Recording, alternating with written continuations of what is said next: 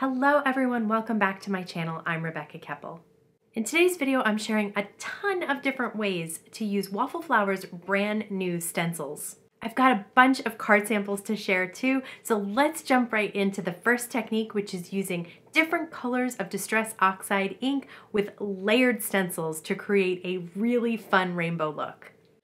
This is the Ring Builder stencils. The number one is on the left hand side and number two is on the right. You use them together and you rotate them to create complete rings. And I'm going to show you exactly how to do that. Whenever I work with stencils, I use my Thermoweb Pixie Spray and Waffle Flower Water Medium Mat to hold the stencils in place. So I spray the back of stencil number one with Pixie Spray and then place my A2 card panel over the overspray on the Water Medium Mat. Then I placed the stencil on top. I taped off part of the stencil to make sure I only blended picked raspberry on the upper left arcs.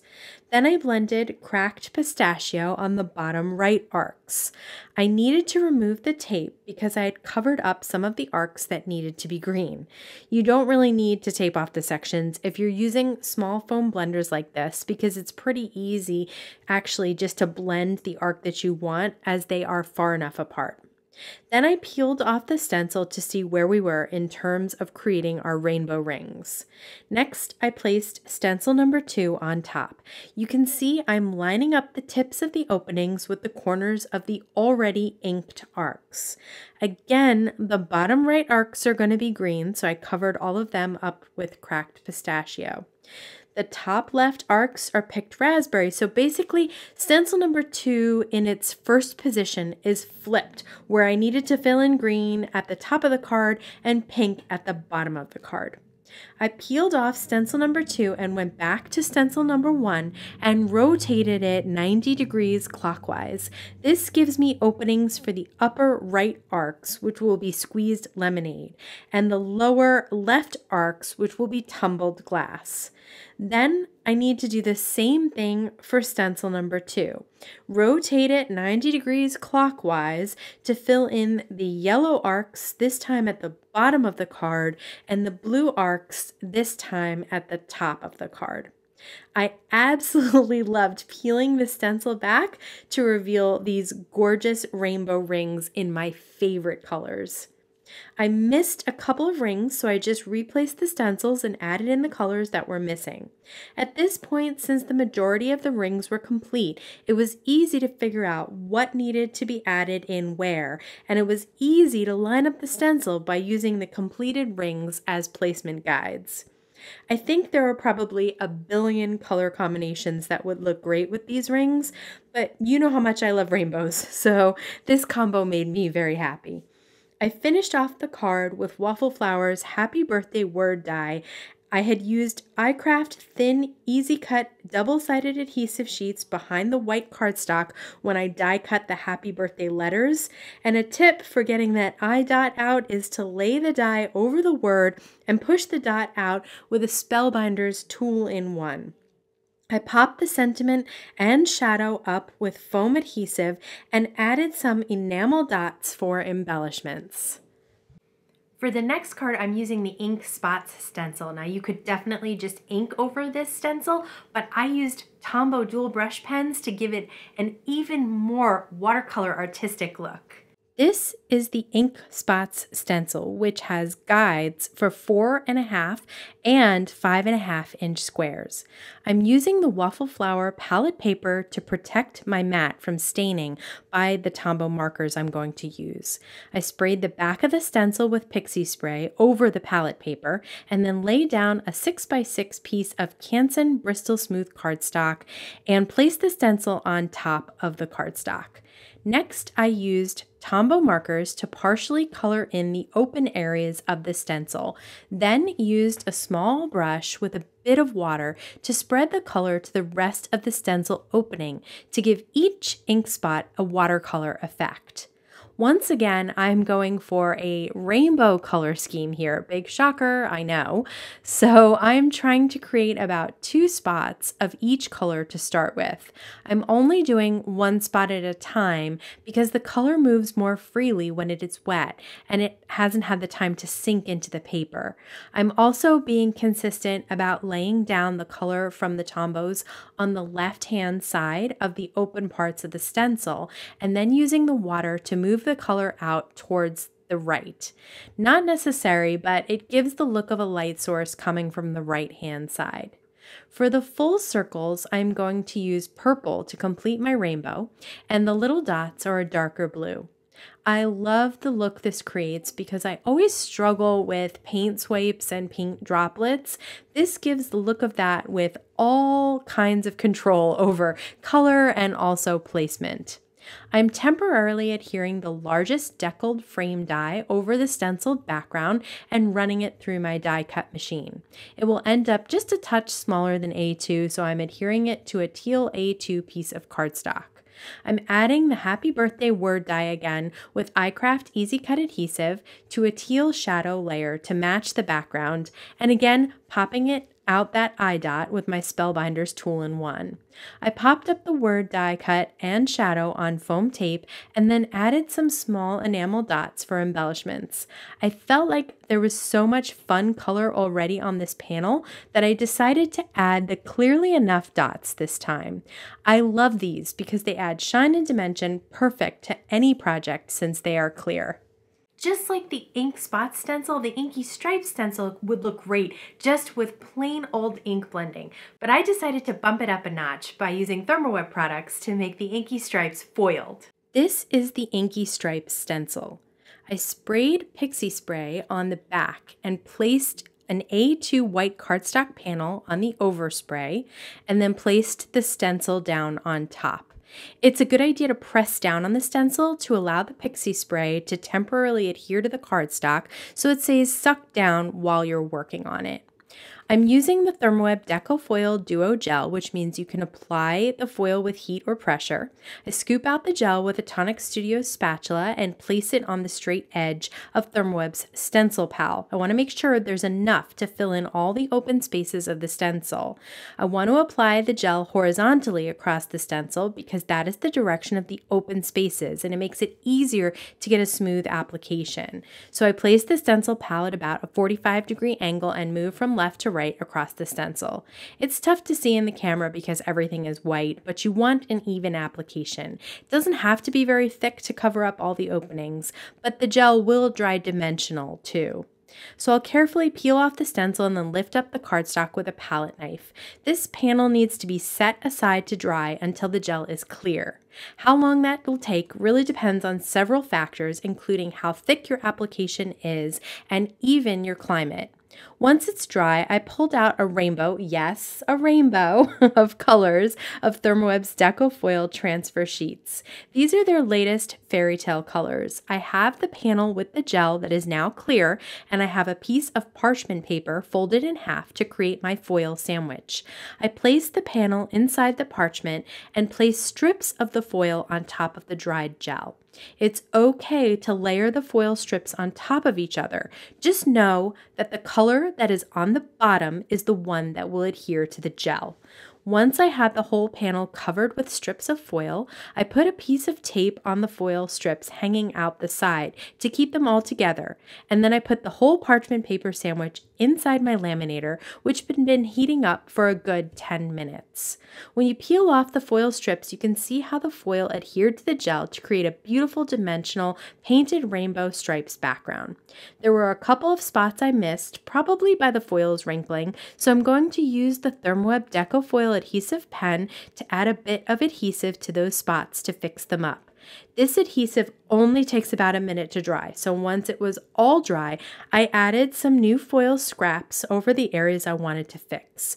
I placed those back in the parchment sandwich and back in the laminator, and they were all covered up. I cut foiled background down to 4 by 5.5 and adhered it to an A2 card cardstock panel, popped up the happy birthday sentiment, and added a few colorful enamel dots for extra embellishment. The spotlight stencils are really great for ink blending within a certain shape. I have the spotlight square and it would be great for creating a little scene or just highlighting a certain area of the card. But it also works great with the Merry Bow stencil and I combine the two with some glitter glitz gel to create a really cute present. This is the Spotlight Square Stencil. You get the stencil and the square mask. And this works really great with the Merry Bow stencil as well. So I start out by spraying the back of the Spotlight Square stencil with Pixie Spray. Then I lay an A2 cardstock white panel on the overspray and lay the stencil on top using the guidelines to center the square.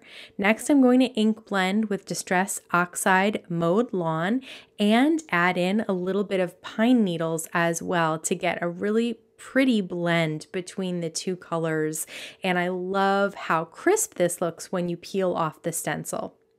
This time I'm going to spray the back of the Merry Bow stencil and I'm going to line it up right on top so that it looks like it's a bow sitting on top of a present. Then I grab some Gina K for Thermoweb Glitter Glitz Gel in silver. I am not a fan of loose glitter, but this gel looks like you used loose glitter without any of the crazy mess.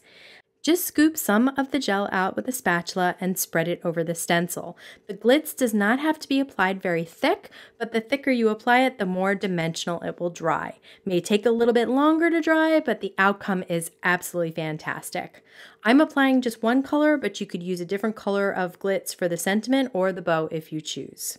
Once dry, I cut the panel down and I'm using scissors to cut some white fun foam, which I'm going to use to pop up this whole panel. I added tape runner to the back of the panel in the center and then placed the fun foam on top of that. Then I placed tape runner in the middle of the red and white dots pattern paper from the Waffle Flower Half Half Dots Christmas pad and placed the popped up panel on top of that. Super simple and clean card, but I love the effect of the ink blended square and the glitz sentiment and bow.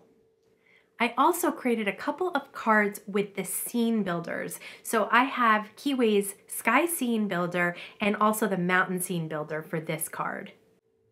Keeway's Mountain Scene Stencil comes with a main piece that has clouds and pine trees and two areas to mask off for mountains, and I love that they give you the cut off pieces to use as masks as well. Similarly, Keeway's sky scene includes stars in the stencil and two edges of clouds and the cut off pieces for additional cloud masks. I decided to work on a kraft cardstock panel so that if anything didn't get covered on the ground, it would look like dirt or mountains. I'm using Hero Arts white pigment unicorn ink for the first layer of snowy mountains. I did a light coverage for this first layer and then placed a different set of mountains for the second layer and used a more intense layer of the white ink. The little line of pine trees lines up perfectly on this second set of mountains. I'm pouncing the Pine Needles Distress Ink on top of the open areas of the pine trees rather than blending because I wanted them to look snowy. They still ended up looking a little too green for my taste, so I cleaned off the stencil and replaced it over the trees and added a few dabs of the white ink to add some extra snow on top. This time, I'm using the mask cut-off edge with the pixie spray to cover up the top mountains so I can ink blend the sky. I'm using Mermaid Lagoon, Blueprint Sketch, and Chipped Sapphire for a layered looking night sky. To complete the sky, I'm going to use the Sky Scene Builder stencil and pounce white ink over those stars.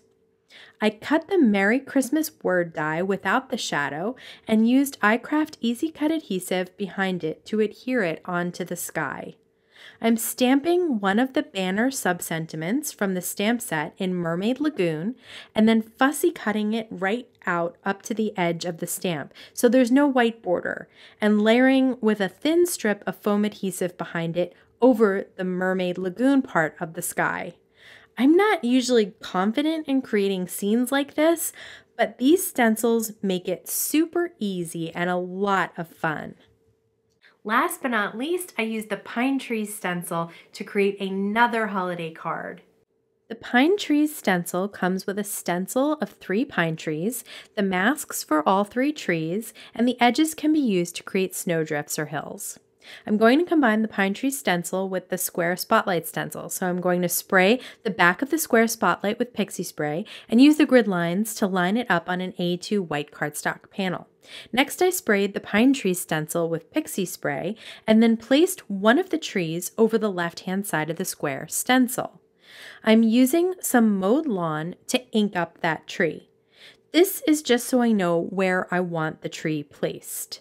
So I peel off the pine tree stencil and spray the back of the matching mask of that pine tree that we used and place the mask right over the ink blended tree. Now that the tree is covered, I can ink blend the square spotlight. I'm using the same three blue colors I used in the last card, Mermaid Lagoon, Blueprint Sketch, and Chipped Sapphire. Once I finish ink blending the square, I can peel off the tree mask and the square stencil. Now I replace the pine tree stencil and this time I fully blend out the tree with mowed lawn and pine needles distress oxide inks. To color the tree stump, I cover up the bottom of the card so I don't get brown everywhere, and then ink blend the stump. I want to add snow to the tree boughs, so I replace the stencil once again, and this time I add Brutus Monroe Cotton Puff. I peel off the stencil for the last time and add cotton puff to the base of the tree to create a pile of snow underneath. If you've seen my favorite white gel pen video, you know I love adding white gel pen dots to create snow and stars, so I'll do that here on the blue square. Once all of that is dry, I cut the panel down and adhered it to dark blue cardstock. Now I'll place the panel inside my mini MISTI and use some chipped sapphire ink to stamp a sentiment from Waffle Flowers Big Dots Holiday Stamp Set. I added a few Tonic Studios Nuvo drops in gold as ornaments on the tree, and a few more larger white dots with the Pentel Milky Pop white gel pen for snow and stars, and this card is practically a one layer card, making it nice and light to go through the mail. I love these new stencils because they're a real affordable way to create your own unique customized backgrounds. Plus, I love that you can just use them over and over and over again. If you like this video, please give it a thumbs up. If you want to see more videos sharing new products and how to use them, please subscribe to my YouTube channel and don't forget to hit the bell so you can be notified every time I have a new video available. As always, I want to thank you so much for spending time with me. Please stay safe, stay healthy, and I'll see you again soon.